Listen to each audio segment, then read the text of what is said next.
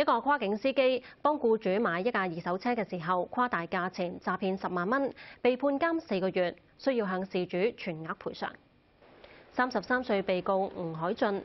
早前承认一项代理人串谋意图欺骗而使用文件罪。